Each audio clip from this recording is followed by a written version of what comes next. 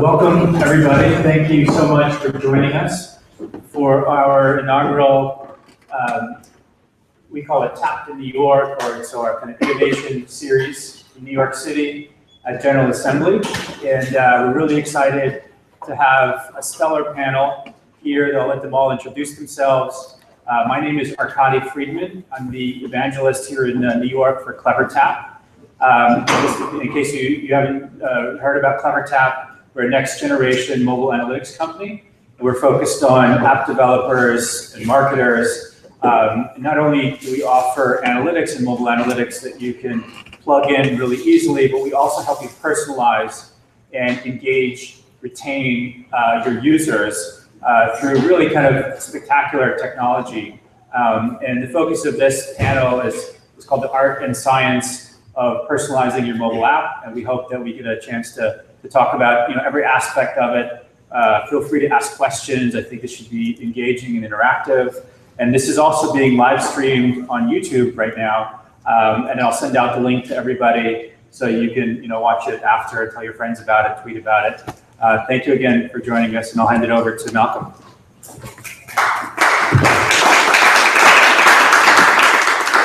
Thanks, Arkady. Um, just by way of introduction, my name is Malcolm Freeberg. I'm the CMO of CleverTap. As Arkady explained, we're a mobile analytics and engagement company.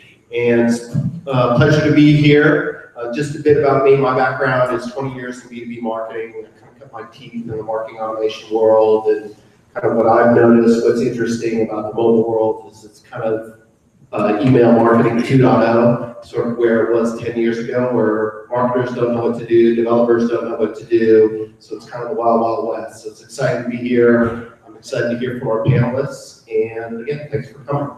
So why don't we just go down the line? Chok, why don't you start and introduce yourself? Tell us a bit about yourself.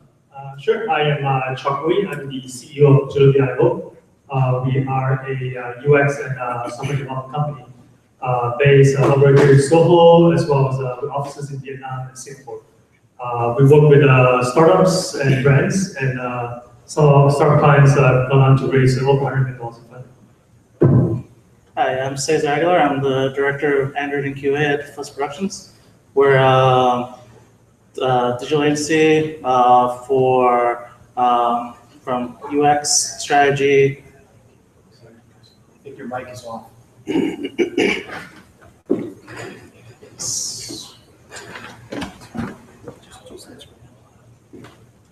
Um, full service uh, digital agency for um, strategy, UX, design, uh, development, and QA.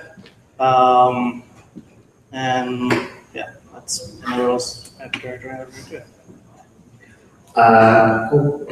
Uh, my name is uh, Winston. I'm the founder of a new uh, startup consulting firm called BrickBread, um, formerly director of Digital Tasty. Um, essentially, what we do at BrickBread is basically everything that uh, we can to take an idea from zero to 100. So, UX, UI strategy, uh, digital strategy, design, um, and everything up to um, four or five day design sprints. Um, everything that the startup founder or uh, either even the company founder would need to, to launch a digital product. Hey guys, um, Mikael Kopteff from, from Reaktor North America. Uh, Reaktor is a, a creative technology house. We're uh, started off from Helsinki, so that's where our headquarters is. Um, branched out to New York about a year ago. Uh, we do kind of high-end custom software for our clients that include HBO and NASDAQ and major airlines. And then we're really focused on creating products for our clients that, you know, otherwise couldn't try to help with really kind of high-end products. Great, thanks, guys. So um, I want to kind of structure the conversation in three parts. Kind of the conceiving of your mobile app and what goes into that part of the process, the actual building of the app, and maybe some of the technical aspects, SDKs, and things of that sort. And then, you know, the growing and getting your first thousand or 10,000 or a million customers, as it were. Um, before we do that, uh, one other thing, if you have questions, just put your hand up to me, it's fine if we take questions middle, it kind of makes it a little bit more engaging. Um, but before we go to, uh, sort of the first question that I have, I just want to have each of you maybe talk a bit about what personalization means to each of you. When we talk about this idea of personalizing it, you know, again, having come from the email marketing world, I know exactly what that means. It means the email that I send to Winston is different from the email that I send to Mikael, and I have data which tells me how to customize that information. So maybe each of you could, uh, of from your own perspective in the app world, explain what personalization means to you. Uh, I can start. Uh, for me, I think it's not just about you know, uh, you know what, uh, what who you are, uh, you know what you what what actions have you done, but also a combination of location, time, um, all that factor that come into play uh, to uh, uh, if you're able to pretty much leverage on all that, uh, then uh, be able to uh, serve a a notification or call to action that's truly uh, that gives you a much better uh, you know, uh, conversion. Um, yeah, kind of uh, going off what Chok said a little bit there. Um, at this point in age, where all our phones have all these sensors, like everything should be more contextual. Not just it's not just about you know the actions you take, it's about you know uh, I'm here. I want uh, you know I just opened up an app for say um, say you're at a Shake Shack or something. Uh, and it's already like, oh, last time you ordered this. Just that's a like that right there is a you know streamlining the process right there. That's personalization for me. Uh, from a user pers- perspective, uh, personalization is kind of, it's, it's basically the difference between lean back and lean forward. Um, you know, it's basically the lean back effect where the app knows enough about me that I don't have to tell, tell it more than it actually needs to know. So, um, same with Cesar was saying, you know, if, if I'm at a location, if I'm, you know, if I have a history, um, putting those things together to to the point where when I open the app, uh, everything is already kind of falling into my lap. Um, and it's very much, uh, personalization to me is like very much like me not lifting a finger, um, when I need the app to do what it needs to do.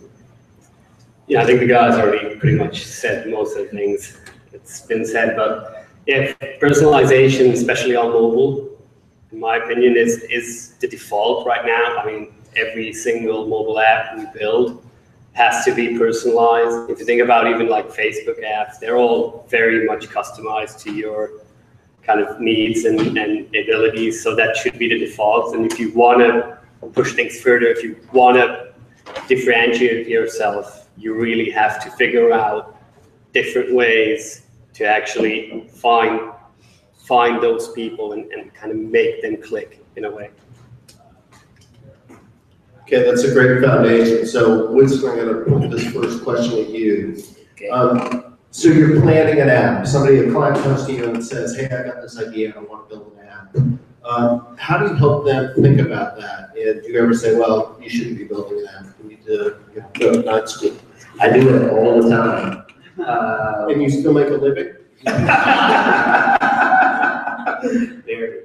Um, but, well, the biggest thing I, I would say is, um, so at BrickBread, we, the first step is to actually create a user profile. So we were like, who actually uses your app? You know, who are the people, and we create three, four, five profiles. Um, and we encourage our founders to actually not think of them or their friends, uh, because it's always, uh, kind of the downfall, uh, for any app developer. It's like, oh, me and my friends do this. It's like, well, that's great, but there's billions of people in this world. Um, so it's kind of like the, that's the number one. And then we kind of, from there, just look at the different scenarios. Um, that person A will be here in uh, Flatiron, and they want to do X, Y, and Z. How's your app going to allow them to do that?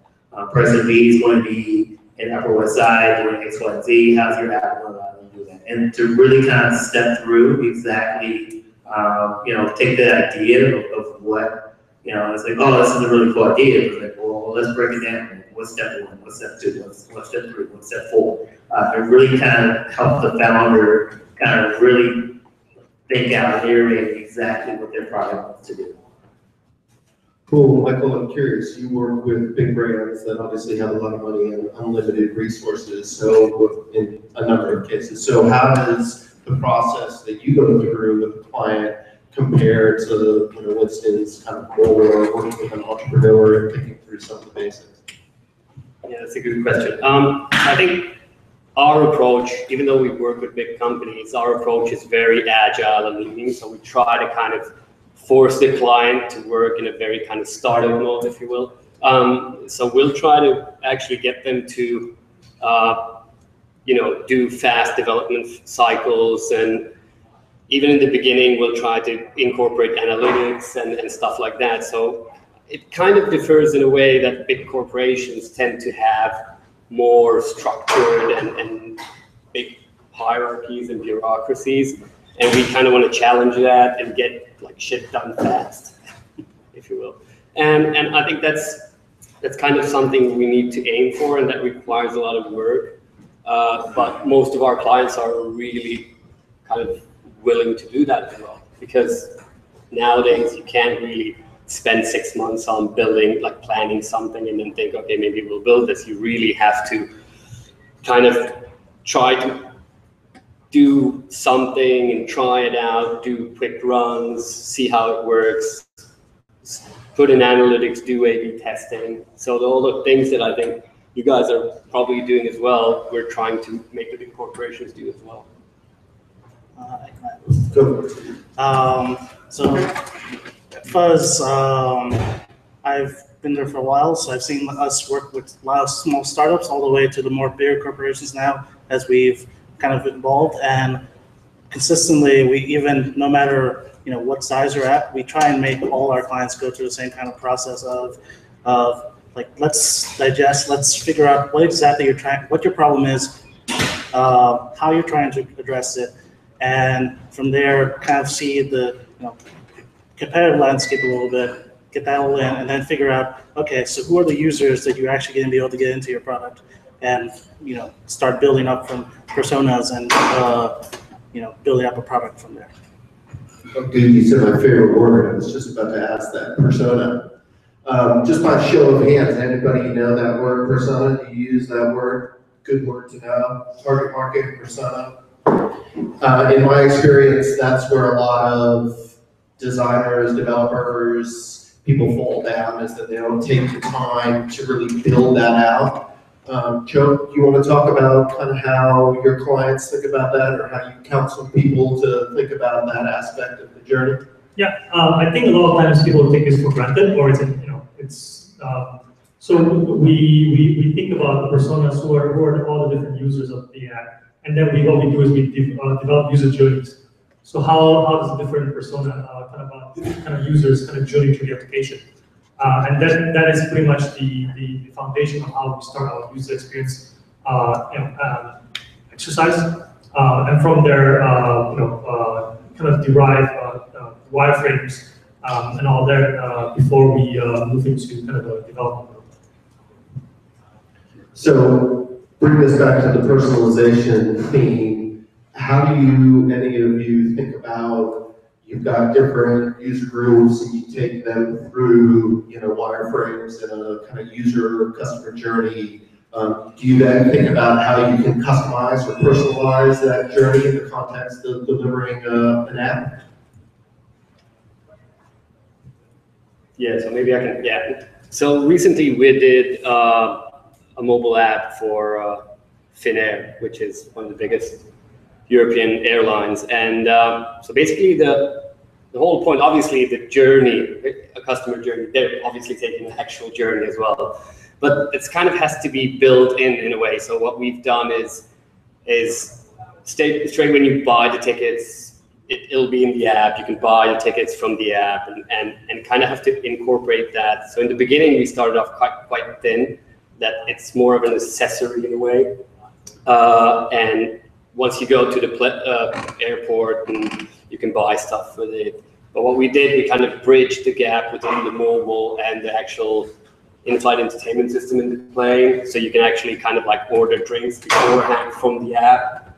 And, and that kind of creates this unified experience. And, and obviously then you'll have to kind of bring personalization into that, like quite strongly that it has to be there. So the person has to feel, okay, this is my app, this is where all my journey is, everything is here. So it's obviously, I think it depends on the case, but especially in this case, it's quite, you have to think of it as a kind of a, as a whole, not just as a small mobile app.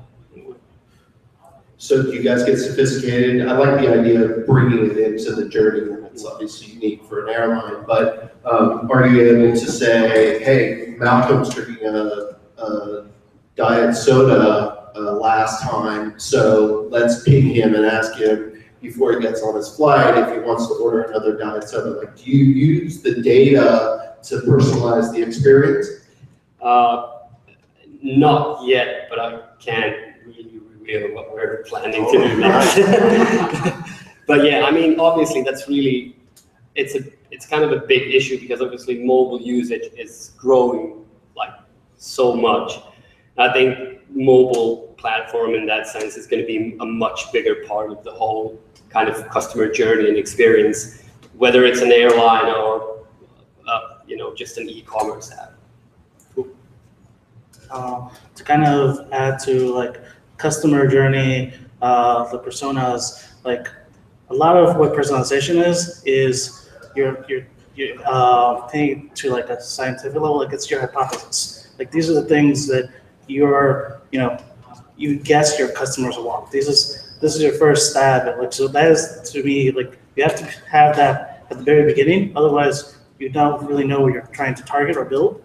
Um, and then you, that's where your data comes in later, where you can verify it, you can test your hypothesis, uh, and adjust, uh, and continue evolving your product over time. Mm, I think a lot of this, uh, are, on the personalization front is still pretty much, I feel is at an infancy stage. Uh, whereas, uh, you know, if, if uh, not done right, uh, for example, with the app example, if I order that for the first time, I don't want to be, every time I get on the flight, it assumes that I, I, cook and that I get, you know, pretty much targeted everywhere, everything I do. Um, I think on the web right now, it's, uh, I think that's kind of a, a, big problem, uh, where if you see a certain website now, every website you go to, if they, you know, the, the advertising follows you everywhere, uh, where it becomes annoying and, uh, you know, uh, uh, so, I feel like, the data, the input point, it's probably a lot more, multidimensional, instead of just one, one data point, a collection of few data points to determine, you know, what the user actual intents are, and, and be, more smart, intelligent while targeting. Winston, you and I were chatting before, and you talked about the fact that you come from a more of a web background a mobile background. Um, do you encounter clients that are mobile first or mobile only, and, and kind of how does your web background experience play into helping them think through that question? Well, I'm, I'm very much like a back, a backend guy, so it's always interesting to me. Um, it's the same data, it's just presented in a very different package. Um, so essentially, it's just, a lot of clients come to us and they have very big ideas. And the thing about mobile is, it's, you don't have a lot of real estate there. So we have to really sit down with clients and iterate what that idea is and how we can scale that, scale that idea down. So you basically crush dreams. and I tell them that the app is like. And your budget needs to be twice as big. Yeah, yeah, I, yeah, I'm, I'm killing people here. Um, so yeah, so, um, yeah, no, so I mean, it's essentially taking, you know, a lot of, uh, corporate clients are very much still focused on their desktop properties. So, uh, when they come to us, you know, they, they kind of want to bring this desktop experience. Um, but with mobile, uh, it's basically taking maybe the key four, five, six elements out of the desktop experience, experience and you kind of bring it in. Um, so that's kind of what we look for. So we look at the data analytics data, uh, we look at, you know, what's popular, what, what, what aspects of the app that we can really, um, you know, I guess refocus, um, and take that and use that as the basis of, uh, mobile design. Cool, all right, so that, that's kind of phase one, right? We, we planned our app, we built personas, we thought about use cases, we built a customer journey. So now we're gonna actually start to build the app. Um, it- either through brand or through type, uh, for each of you, what are the core SDKs that go into all your apps? And remember, I promised you twenty bucks for every time you mention CleverTap solution. Um, so the ones we use in almost every app tend to be Google Analytics, Localytics, uh, usually one or one or the other, but uh, those are the two most common we see. Uh, Urban Airship for push, um, and uh, Crashlytics because you have to keep up with your performance as well. Um, those would probably be the most, the four most common, uh, and then from there, uh, clients and you know what your product is trying to do. Uh, you just have to figure out which SDKs match what your needs are. Uh, oh, uh, well, just to repeat, Google Analytics, uh, is probably the number one, uh, Crash is definitely the number two. Um, and, you know? I just had it took my tongue. Um, uh, there's another, there's a uh, server-side analytics that we use, um, that I will get back to. Uh, but, yeah, Google Analytics, Analytics, Google Analytics, we, we use really to kind of track, uh, where in the app, uh, um, you know, essentially the critical path of the app. So we can track where within the app, um, you know, users are leaving the app or whether they're enjoying the app and, uh, things like that. Um, and then we also use, uh, Apple Developer Portal to really kind of see where the demand is coming from. Um, and that's kind of a, a data point that we use to kind of see if we need to do any type of localization, uh, or things like that. So. Yeah, well, um, Reaktor is uh, kind of a different type of company. We're, we're a flat hierarchy company, so all our teams work autonomously. So we don't have, uh, kind of, every team picks their own tech. Uh, So there's no kind of, we, I mean, everybody shares knowledge, obviously, but we don't have, I mean, some clients want to use Google Analytics, some want to use Adobe for stat- statistics. So it really depends on the case. And, you know, obviously if you're writing code on an airplane, it's going to be very different if we do, you know, web front end. But I mean, what's really popular in our company right now is, is obviously React Native is changing stuff on the mobile scene. Um, if we like React on, you know, on the web and, and, and, you know, I would say those are probably pretty popular in the front end. And Swift probably, yeah. Uh, New Relic as well, so Yeah. New Relic. Yeah, we were seeing a surge in demand for React. uh, Yeah. It just came out middle of the year, and uh, we, we see React, you know, being kind of growing, uh, uh, you know, uh, you know, uh, growing popularity going into next year. Yeah, I mean, React is changing kind of how you write mobile apps. And I mean, it, it has changed uh, the web scene quite strongly in the last year or so. And I kind of believe that React Native is going to, at least some level, do the same, but remains to be seen. What about the notion of kind of integrating data sources? So one thing I saw in the email world in the last thirty-six months was disparate data sources being a problem, in this case for marketers, and wanting to integrate them into one system to have the three sixty view of the customer. Um, any ideas or thoughts on, if you see that happening in mobile? Are they using their push notification system as kind of a default customer database? Are they using some other third-party systems? How do you help customers really get a, a full view of what's going on? Um, I, I think we work with a lot of uh, customer clients that are essentially uh, multi uh, platform, so for web and mobile. Uh, but a lot of solutions uh, we see in the market now, it's either very uh, mobile focused or very web focused. Uh, which uh, you know, if the customer wants to kind of capture, so the same user, you know, uh, across both platforms, uh, we don't see enough uh, solutions out there that provide at the moment. But uh, I think that's definitely uh, a demand for that market. I think the thing I see the most is, uh, at least for the more corporate uh, clients, is they have all this legacy data they have, but they don't have any any system that, uh, like any like if they want to use Urban Nurture, for example, they don't have the right. They all I have is the new data. So um, usually for those kind of situations, it's kind of best to kind of make more of a custom solution um, to so you can leverage your old data. But um, that's usually where I see uh, disparities.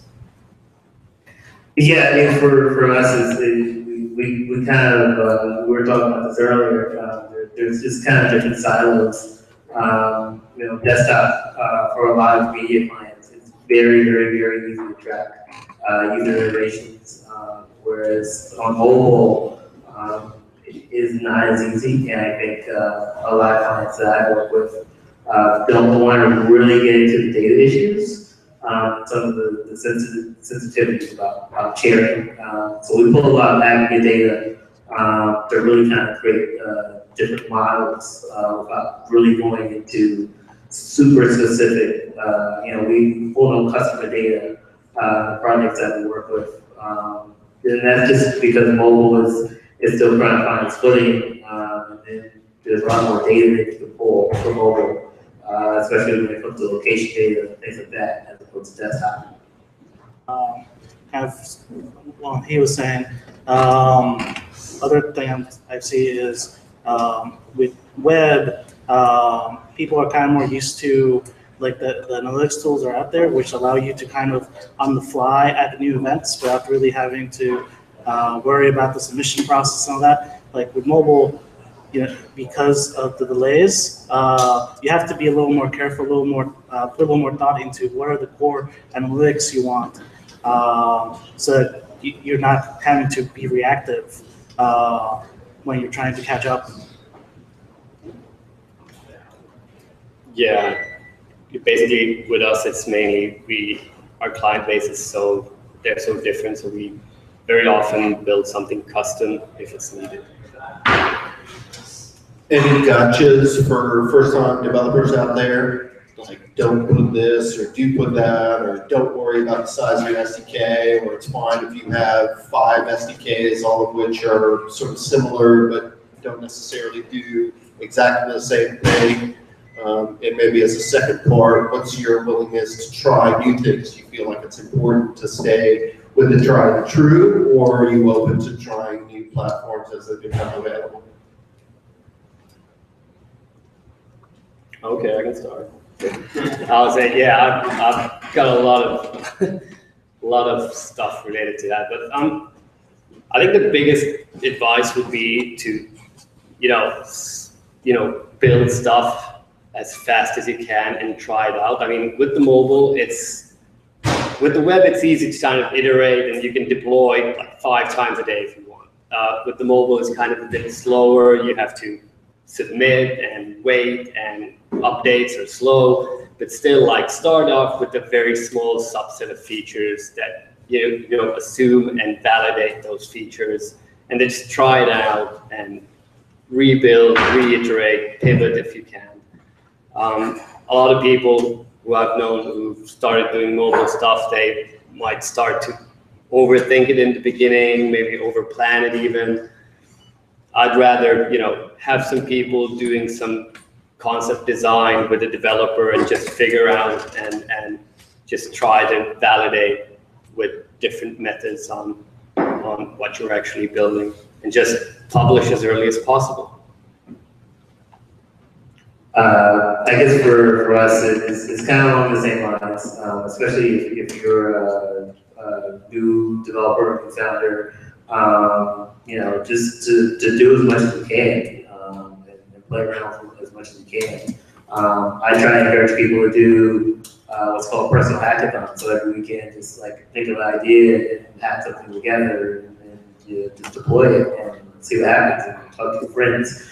Um, as you get further along the process, you can't really do that as much. Um, but at least you get a handle of, of kind of where want things go and things like that. But I, I, I mean, it's, it's, it's an open world, so why not play, play around? Um, and in regards to the second question, um, I, I get very skittish about people who fork GitHub repositories of unproven SDKs or unproven uh, whatever, uh, and try to integrate into their app. And then once we deploy or after we deploy that, uh, that, that code is not supported. Um, so I'm very, I get very, very nervous about that. Um, I would rather encourage the developers I work with to build from scratch, uh, as much as possible. Um, just because we know exactly what's going to happen, um, once we get to production, as opposed to, uh, building something that, say,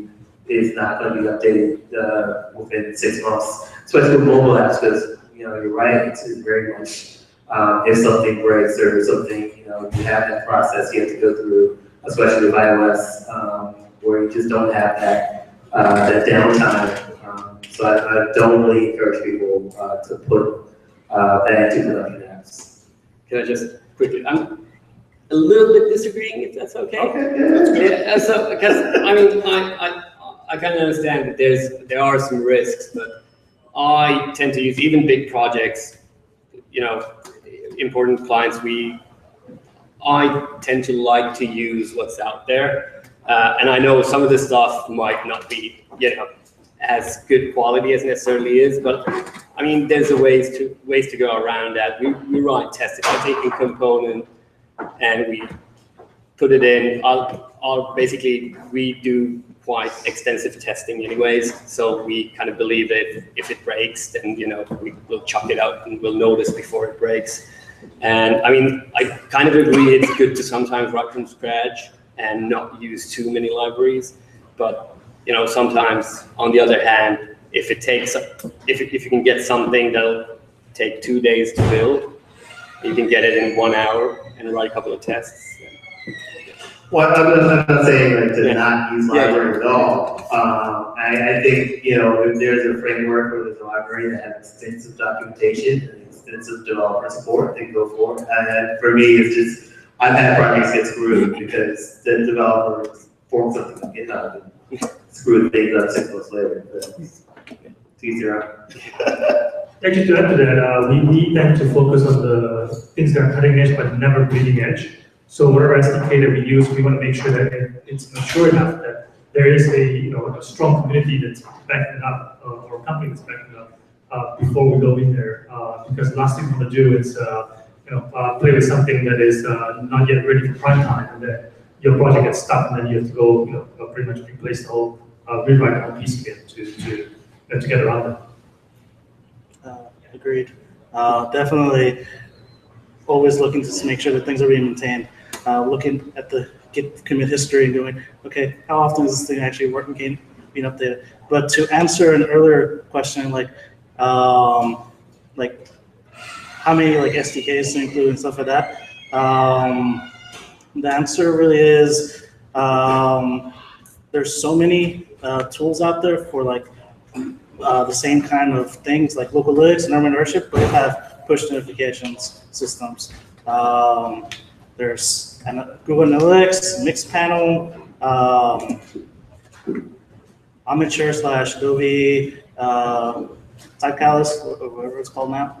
Um, like the, all these systems have their own pricing models, their own uh, benefits, and you know, if you're if you're marketing, you have to get the best bang for your buck, right? So there is a benefit to putting in sometimes multiples just to try and A/B test your tools. Um, recently, a new kind of product came to my attention called mParticle, uh, which uh, looks like an interesting platform because it kind of allows you to do that uh, in a better way. I haven't really tested it myself, but um, yeah, that, that concept of just like making sure you're using the best tools for you and what your price point is, uh, you have to test things. So what I'm hearing is in terms of say five, top five uh, SDKs for functionality, engagement, analytics, crashlytics, or something for, you know, testing along the way. What are the, who gets the fourth and fifth spot? What kind of functionality? Or is it just engagement and analytics? And Is that literally what it comes down to? I mean, obviously, there's infrastructure to support your app and things of that sort. Um, but in terms of things that you have flexibility and multiple vendors to choose from, are those really the key topics that uh, some uh, CEO, uh, new developer has to make choices on? Uh, I mean, those are probably the two big ones. I mean, there's A/B testing as well, which kind of fits into its own category. Um, Why? What is it about the A/B testing SDK that's gonna enable you to do that more effectively than just doing it on your own? Um, most of the A/B testing SDKs are geared towards giving you segmented data between your uh, tests and how they're using it uh, to really see which one's performing better. So it's it's more geared towards that. So um, you're going to get that information in a cleaner way. Not to say you couldn't use more traditional analytic methods and build, and build out you know a A/B testing framework yourself, but you know these tools are available. Might as well take advantage of them. Sure, kind of out of the box. Okay, so we're gonna move to kind of the third section before I do any questions down there from our uh, audience. Okay, you're- you're just so awe-inspired that, go ahead, young lady in the front. Who does the um, data analysis for each of your teams? I'm curious, is it the UX team which does that, or do you have the team the analysis and presents it to? Yeah, so the question was, who does the analysis for the teams with respect to UX specifically? Yes, well, you're talking a lot about using data analysis, um, which I am not that familiar with. So I would like to know on, some of you come from bigger and smaller teams, so do you have a research team, or do you outsource that? Um, we do everything kind of internally. We have very small teams, but our UX people, I think in this context, I think you mean with data analysis like requirements and stuff like that. So our, our UX people are kind of trained in a way or, or are very good in a way where they kind of, they, they talk to the actual users and they gather the requirements and they create the mockups using those discussions. If that answers your question or. Well, when you're speaking of Google Analytics and some of the Oh. other devices which you're using to analyze the product you've already. Put out, Oh, okay. Then who's doing that? Oh, okay. Um, yeah, we have usually our team together with the client, but usually it changes, at least for us. Um, we have a strategy team. Um, they kind of go through that. Um, so because they can take those learnings and you know apply it to the product that we're they're working on. But since our strategy team also works with uh, every client we work with and kind of like um, helps our clients form their vision. Uh, all that data helps them kind of learn from across different products how people use products. So answer for that. Uh, we see that the, the product manager is the, the person, uh, the product manager, the market, uh, marketing person is the one plays their role. Uh, since we're a pretty small team, uh, on the UX side, we typically, uh, what we do is we kind of educate and uh, enable our clients to be able to do this on their own. Then we, we guide them from a technology perspective to facilitate them, uh, to, to, to do those data analysis. And yeah, actually, we have, uh, we have like a handful of people who are very kind of savvy in, in Google Analytics and such. So we have special needs on that where the client can't do it, then we'll have like a special person that can come in and help. And uh, for us, uh, it, we, we have fairly small teams, so it's usually the product lead, a combination of US and uh, UX and the product lead. Um, but most of our teams are multidisciplinary too, so if the developer uh, has insights, then we can go in and kind of bring it into the room. Um, but it's, it's mainly the product lead that, that's responsible for that.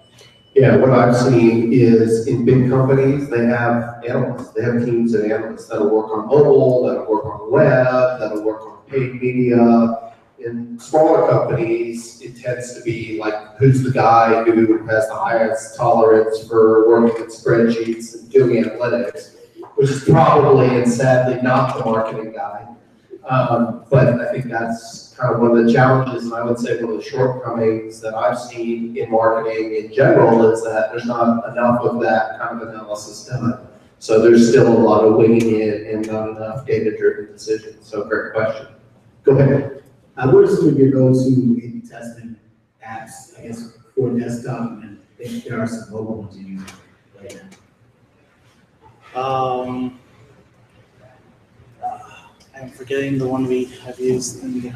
Optimizely. Yes, Optimize is the one we have used in the past. Uh, and they support both, uh, mobile and web.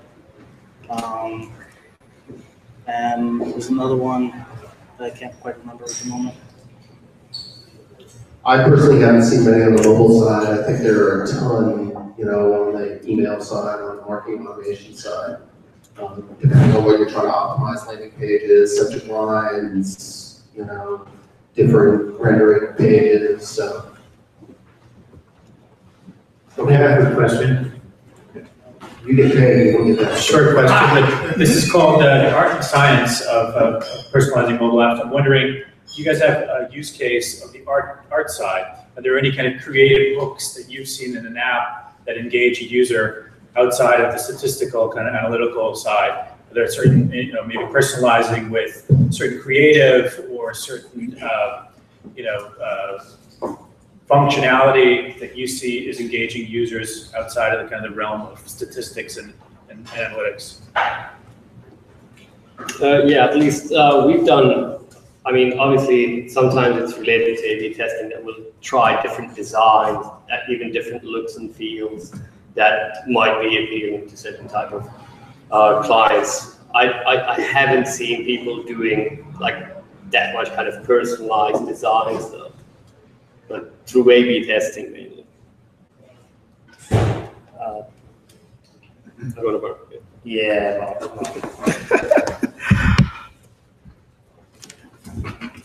Yeah, I, I think it's kind of, it, it's still on that end, that it's very much resource intensive, uh, to, to kind of, to think in that way. Um, so I haven't really worked on anything that's like really out the gate, you know, beautiful. Um, and I, I do think that when we talk about design and we talk about personalized design, um, to be honest, I haven't seen anything that, that really caught my eye. Um, there's different things now that um, some of the music apps are doing to kind of take what you do as far as like your your musical taste and, and kind of create these musical landscapes. Like Apple Music is doing that right now. But uh, yeah, and, and as far as that goes, I think it's still kind of a wild west. Yeah, just to blow our- on my own horn here, CleverTap, one of the reasons that we feel like we'll be able to get traction in the marketplace is because we allow people to do exactly that, personalize it. So if you're a male versus a female, the background will render differently. If you're a loyal customer versus a, an occasional customer, you'll get a different experience. So, um, it's kind of to this young lady's question of like, who's out there really pushing the envelope in terms, in terms of using data to provide a more personalized, customized experience. But, you know, today, there's not a lot out there, sadly. on kind of, we do have a data science team who does work on, they're, they're just, they're mainly using kind of uh, analytic stuff, but they might try to create sophisticated models. For instance, like there might be a telco that, you know, has mobile clients and then they'll do a model, an algorithm that'll try to forecast what, what clients might be leaving so they can provide them offers to keep kind of retention and stuff like that. But I haven't seen that on the design side.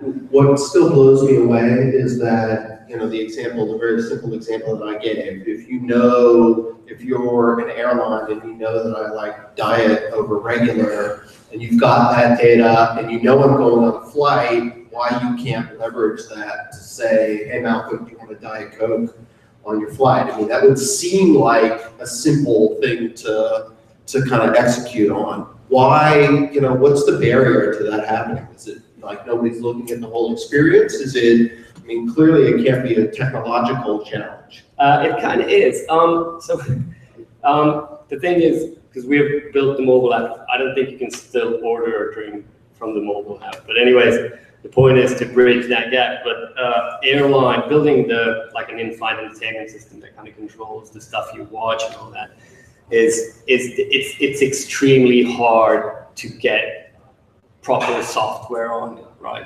So even running Node.js in an airplane is really hard. And I think that's part of the problem. It's very regulated. The, the screens are regulated. The software that it runs is regulated. So kind of putting that data together is kind of one of the biggest things that we've done for airlines in the, in the near history. And what about, uh, sort of to the same end, what about beacons? I mean, beacons would have seemed to have been like the promised land for marketers, right? I know where you are, I know where you're standing, I'm gonna offer you ten cents off, you know, tricks versus sugar smacks. Um, how come, those are deep, you probably have little kids. Um, how come those things haven't found their place in a more substantial and kind of regular way? Um, just from the clients we've kind of uh, talked to, um, um, one of our big clients, uh, Belk down in uh, South Carolina, like one of their biggest obstacles is just the infrastructure. They have so many stores, uh, and the cost of putting this infrastructure in um, is, is high. So they have to make a really large investment. But they haven't. Like that is the, the thing I see the most.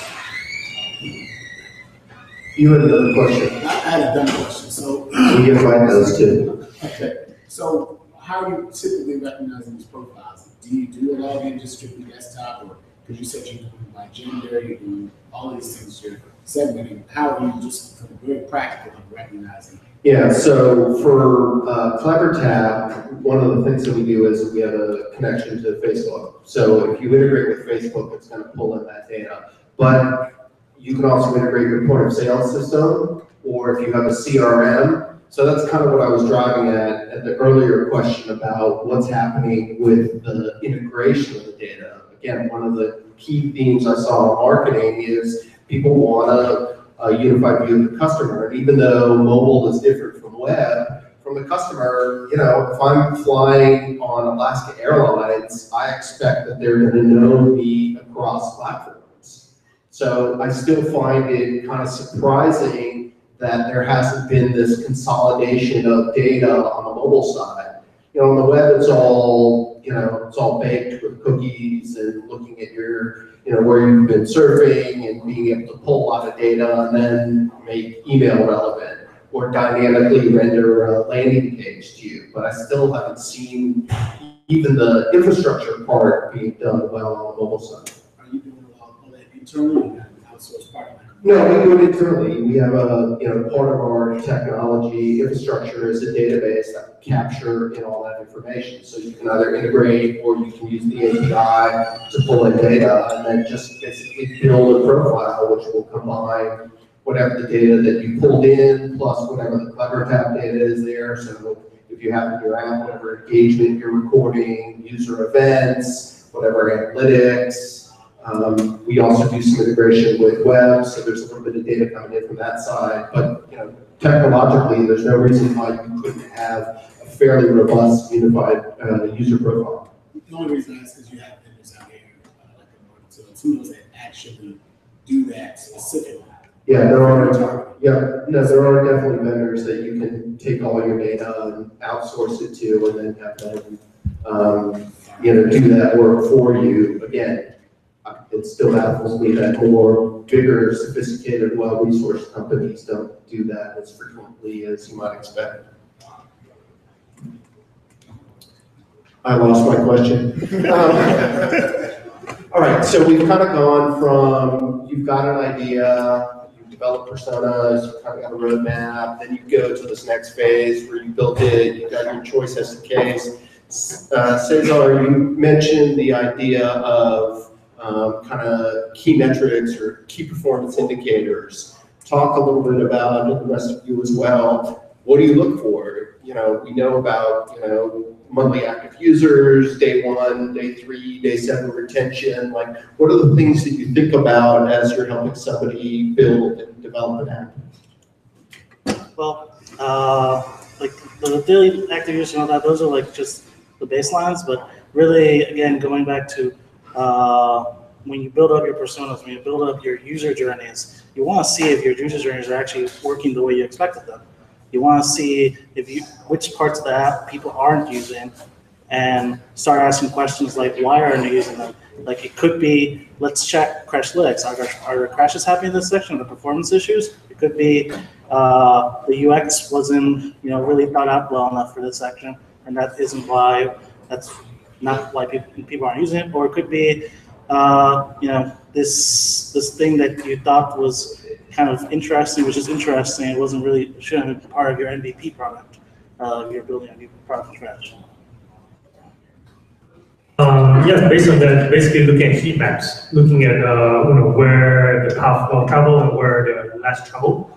Um, there's a, uh, a great tool on the web, uh, called Hotjar that we use that actually records, uh, each session comes in, you can see how people are browsing through your site, where their mouse are, where they click on next, pretty much a, a replay of uh, a user where uh, I have not found a similar solution to mobile uh, which would, uh, you know, be a great feedback tool. I think for a lot of uh, apps I work with, uh, the user onboarding is, is the number one problem. Um, they could get, say, five thousand qualified leads, uh, five thousand, uh, say, twenty-five hundred of those will download the app in, you know, within one day. Uh, and then from there, um, maybe five hundred continue, and that's just like a rough number. Um, so looking at exactly why, uh, there's a drop off, um, it's been kind of the number one issue. Um, we talked about this earlier, it's like you have about fifteen seconds to really wow somebody when you open up the app. Um, so trying to look and see exactly, uh, within those fifteen seconds, what you're doing wrong. Um, are you presenting, presenting a login screen before, uh, you're actually, uh, telling the user what the app does? Uh, is your onboarding process very, very lengthy? Are you not, uh, say, having the user log into Facebook or create extensive profiles, uh, things like that? Um, and just kind of pinpoint, pinpoint out those issues. Um, and that's kind of like been like the, the biggest hiccup, uh, for most of the app launches that uh, I've worked with personally.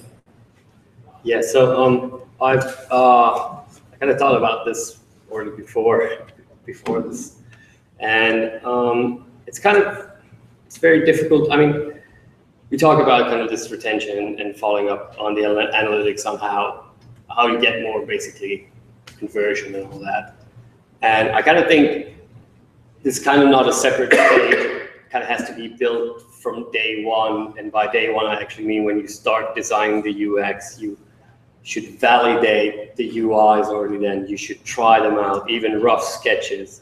I mean, it's, it's yeah, analytics is definitely involved, but you shouldn't kind of forget that on the first day when you when you're building the UI, you should actually think about the flows on how how the customer is going to be able to purchase and, and as fast as they can and try them out with different people. And once you build it, from day one when you're writing code, follow the analytics, release early, then you, you'll have 20 people, 30 people, and you can already correct it much easier.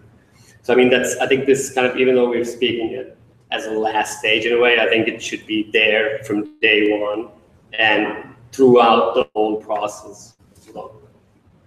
I think that's a great point. Um, back to the original question, though, are there any like watershed metrics that you're gonna pay attention to or think about or design to meet as you're, you know, launching an app? I mean, ultimately, you know, it's a marathon, not a sprint, but, um, you know, certain indicators or certain metrics give you an indication of how well things are going.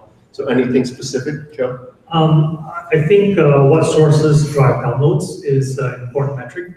Uh, whether you are you know, just getting uh, you know some blog mentioned you and then suddenly you see a, a spike in downloads, uh, or your uh, your ads on Facebook is being very effective, and or if you're doing multiple A/B testing of different ads, which many of our clients do, uh, you know they run different ads uh, with different images still, and they realize that uh, uh, the different images does give different results. Uh, who are the people you're uh, targeting with those ads? Uh, I think those are great uh, metrics, and being able to see, uh, being able to then filter through. If you're running multiple campaigns at the same time, being able to see, you know, which ones are uh, effective uh, and which ones are not, so that you can then, uh, kind of place more of resources on more effective uh, uh, techniques or approaches. So more of like the ad optimization, acquisition optimization type, uh. Yep. activities? So kind of a, uh, I would say, user acquisition A/B testing. Cool. We've got about two or three minutes. I just want to make sure everybody who wanted to ask a question. had a chance to ask a question. Yeah, Before. yeah, I'm, I'm a new, uh, I'm trying to figure out, I guess, like, what new technology to actually take on. I'm a Ruby on Rails, uh, full stack developer, but obviously, not that popular right now, So I'm just thinking from an employable, employable standpoint, um, you guys mentioned React earlier, and you mentioned React Native. Uh, how does that fare, I guess, uh, in relation to, I guess, uh, Angular two is coming out? I'm trying to figure that out, like, you know, should, no, okay, great. So, uh, and, uh, React, uh, Native versus like, uh, React uh, in Flux or React Firebase, like, what, what are your thoughts? Well, I'm a little bit marketing guy, so you're looking at the wrong source for the meaningful answer. Yeah, so on mobile, I, I, if you're planning to kind of, if you want to target multiple platforms, and I mean, React Native is bringing a whole new paradigm into the mobile software development. I, I do like that paradigm, uh, kind of close to functional programming in a way, um, which I really like. So I would look into that, but if you haven't done mobile, I mean, I don't know. It's it's what you want. If you want to do iOS specific stuff, then jump into Swift. If you want to do Android, go for Java. If you if you want to do a bit more and, and look into and you kind of go a bit more kind of bleeding edge, go React Native. I, I, I reckon you won't be wrong if you do something. Uh, I actually really like Angular. Uh, and. So that's cool, Um, yeah, I mean, it just, it just kind of depends, uh, you know, I, I, I, I do think there's a demand for Ruby though. I'm, I'm kind of curious about that, about your experience with that. Uh, but yeah, desktop Ruby definitely, um, yeah, Angular is, is great. I guess there's some security issues with it. Um, but it's fast, it's, it's, it's lightweight. and Yeah, it's just mobile, it just kind of depends on, you know, pick your poison. Um, iOS, um, is always going to be in demand because if all uh, iOS apps generate the, the most revenue. Um, but there's always the Android app development is not my favorite because there's a lot of. sorry, sorry. Yeah. well, there's for, for, for us, there's just there's so many device profiles on Android it, it, it, it's always an interesting time to do an Android app. Um, but yeah, you just have to pick your poison and see what you're comfortable with. Um, you know, if you like, you know, Swift is great. Um, if you're like C-based languages, you know, then, then Android development might do more on your thing. Just, you know, just go out and experiment. and See. Um, Our web team tends to use uh, React at this point. Um, We're fully native, so we only use Swift Objective-C for iOS or uh, Java. Um, Kind of like React Native is an interesting platform, one that we're definitely keeping an eye on. But um, normally with these, any of these platforms that, uh, you know, trying to promise like cross-platform development, you're, you're traditionally going to be a release behind. Uh, so you're never really going to be on the cutting edge of, of Android or iOS, uh, in my experience so far. Um, so that's that's my only caveat to, or you know, if the what you're trying to do, it's usually best to try and if you're sticking with mobile, you want to have the latest technologies available on, on either iOS and Android at your disposal, especially on iOS. Uh, Android, because of uh, compatibility issues, you can sometimes get away with it, and probably you know something like React Native could be uh, an okay solution. But for iOS, I would definitely say you want to be on Swift.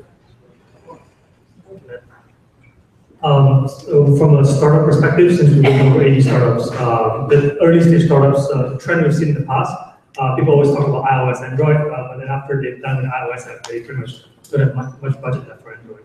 Uh, but what we're seeing uh, this year is a big shift. Uh, actually, Android, uh, the demand for Android has picked up dramatically uh, from from our vantage, uh, uh, almost to a point that we were caught by uh, we caught off guard. So we We've, uh, we trained a lot of our Android developers on iOS uh, two years ago because we saw that the demand for Android just wasn't there. Uh, and then suddenly just picked up, uh, and now we are cross-training people back to Android. It's actually funny because since, I mean, we work a lot in Europe as well. And Android is much like bigger there. I mean, here in the US, everybody's always like iOS, you don't, you know, you know, you don't care about Android, but I mean, depends where you want to target. If you want to target US, I'd probably go for iOS.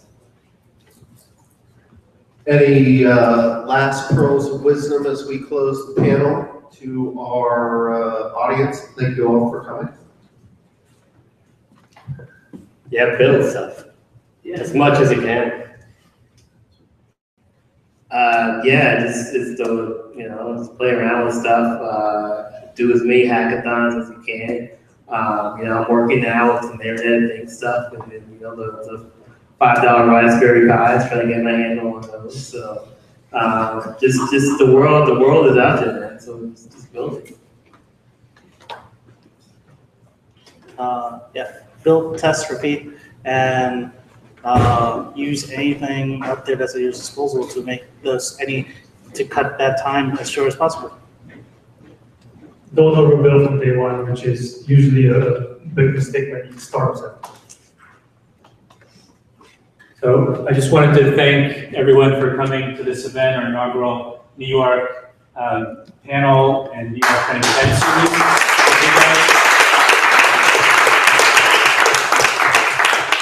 series. each other and network a little bit. Thank you again. Have a good night.